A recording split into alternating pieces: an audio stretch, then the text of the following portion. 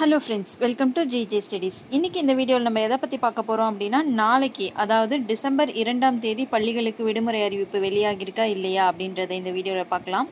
வீடியோக்குள்ளே போகிறதுக்கு முன்னாடி நீங்கள் இன்னும் என்னோட சேனலுக்கு சப்ஸ்கிரைப் பண்ணலன்னா சப்ஸ்கிரைப் பண்ணிக்கோங்க. பக்கத்தில் இருக்க பெல் பட்டனையும் கிளிக் பண்ணிக்கோங்க. அப்போ தான் அடுத்தடுத்த அப்டேட்ஸ் வரும். வாங்க வீடியோக்குள்ளே போகலாம் நாளைக்கு புதிய காற்றழுத்த தாழ்வு மண்டலம் உருவாகிறதுனால பதினேழு மாவட்டங்களுக்கு கனமழை எச்சரிக்கை வானிலை ஆய்வு மையத்திலேருந்து கொடுத்துருக்காங்க. அது எந்தெந்த மாவட்டம் அப்படின்னா தூத்துக்குடி திருநெல்வேலி ராமநாதபுரம் மயிலாடுதுறை தேனி தென்காசி தஞ்சாவூர் கடலூர் காஞ்சிபுரம் திருவாரூர் திருவண்ணாமலை. இந்த மாவட்டங்கள்ல எல்லாம் கனமழை பெய்யும் அப்படின்னு சொல்லிட்டு வானிலை ஆய்வு மையத்திலேருந்து தெரிவிச்சிருக்காங்க. இந்த காரணங்கள்னால பள்ளிகளுக்கு நாளைக்கு விடுமுறை அறிவிப்பு வெளியாகிறதுக்கான சான்சஸ் ரொம்பவே அதிகமாக இருக்கு ஸோ இது வரைக்கும் இன்னும் எந்த மாவட்டங்கள்லையும் விடுமுறை அறிவிப்பு வெளியாகல.